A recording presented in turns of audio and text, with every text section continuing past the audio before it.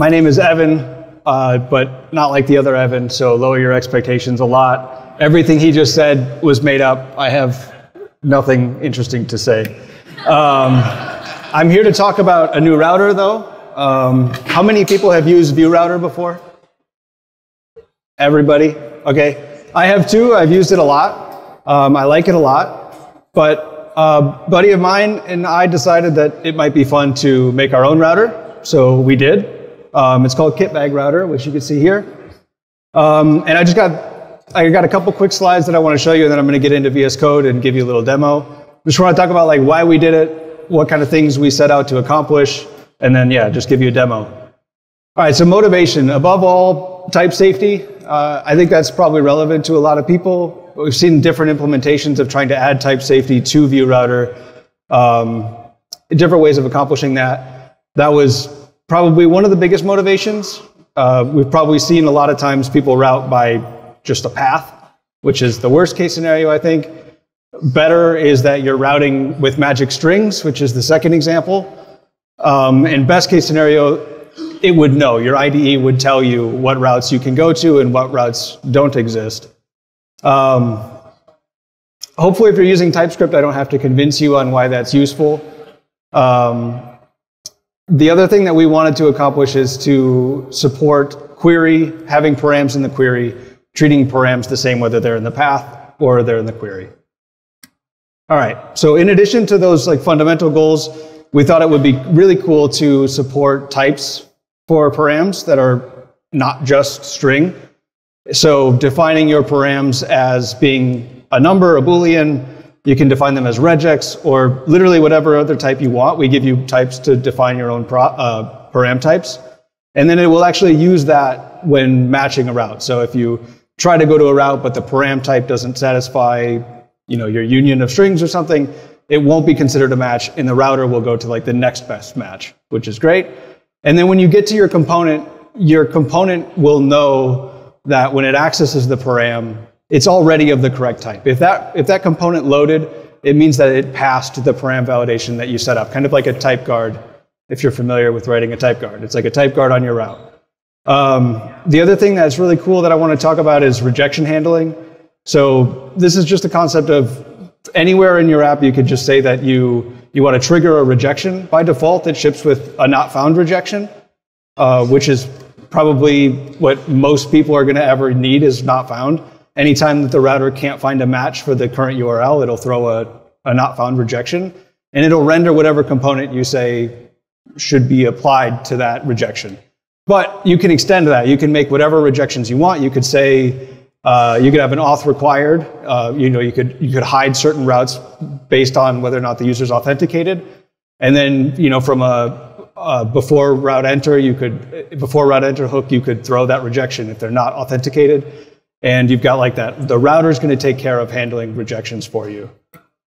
All right, so I'm going to get into the demo real quick. Hopefully this goes smoothly. Um, kitbag.dev is where you can find more information. You can join our Slack and post questions. Um, I've also got like the demo I'm going to show you is on, there's a link to it, there's a StackBlitz. So check it out. I would appreciate it. Uh, we'll be hanging out, so if you want to ask us questions in person, that'd be cool too. All right. How's that? That's still really small. That seems. Does everybody see that okay? Okay.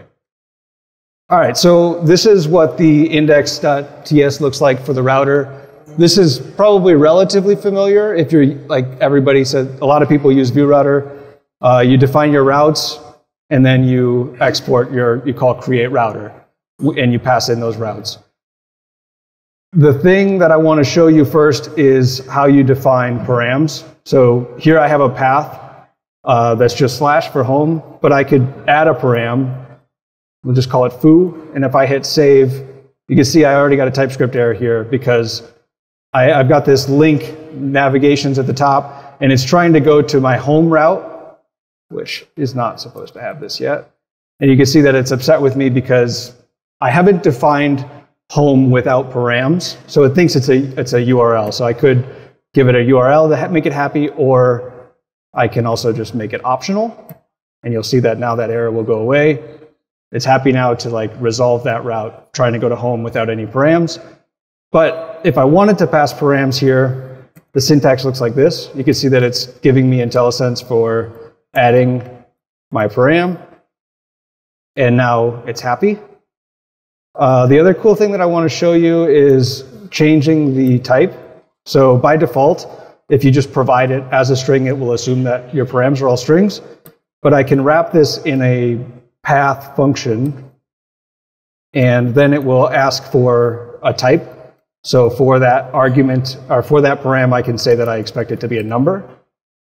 And now when I hit save, again, we get an error because I'm, the thing that I'm passing is not a number, so it's, it's failing. I can fix that by passing it a number. And this is where I could define any other of my custom types. Whatever I want to define here, I could define here. Um, the other cool thing is everything I just described for, for params in a path also applies to params in a query. So you can see here I've got this query string with a search param in it, which in this case is just an optional string. And then down here I have another one that is using a, so query is the same as path, it's just it interpolates the string differently. And then this is what, how, how, how you can define like a a custom param based on this type that I've set up. So you can imagine like a query string that's going to store whether you're sorting ascending or descending. This is a, a param, custom param that's going to validate that the value isn't just any string. It's a it's either it's a union of those two strings. So that is that is the end of my demo. There's a lot of other stuff I'd like to show you, but I'm limited on time. So come find us. I'd love to talk more about it. Check out our check out our StackBlitz. And uh, yeah, thank you very much.